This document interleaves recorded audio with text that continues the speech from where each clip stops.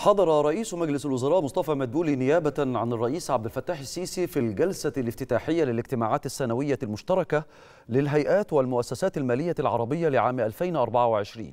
وخلال كلمته أشار مدبولي إلى أن انعقاد الاجتماعات السنوية هذا العام يأتي على خلفية التطورات الإقليمية والدولية لا سيما الحرب في قطاع غزة وانعكاساتها الاقتصادية على كافة الدول ومن بينها الدول العربية. كما دعا مدبولي لتقديم الدعم المستحق للدول النامية وإصلاح منظومة الحوكمة الاقتصادية العالمية.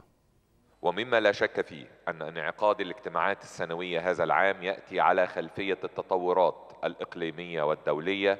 لا سيما الحرب في قطاع غزة وانعكاساتها الاقتصادية على كافة الدول ومن بينها الدول العربية. وفي هذا الإطار تبرز أهمية دور الهيئات المالية العربية في دعم الدول العربية على تجاوز التحديات الراهنة والعمل على استئناف خططها التنموية بما يرقى لتطلعات شعوبها. ومن هنا فإنني أشيد بدعم الهيئات المالية العربية لجمهورية مصر العربية على مدى السنوات الماضية وهو ما ساهم ضمن العديد من الموارد المالية الأخرى في دعم المشروعات التنموية الرئيسية في الدولة المصرية.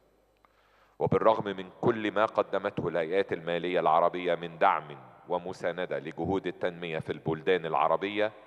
فإنها مطالبة بالقيام بدور أكبر خلال المرحلة المقبلة التي تتعاظم فيها التحديات الإقليمية والدولية والتي تحتاج فيها الاقتصاديات العربية إلى مزيد من الدعم المالي والفني لمواجهة التحديات الراهنة لا سيما عبر دعم قدراتها على زيادة صادراتها وتعزيز التجارة العربية البينية.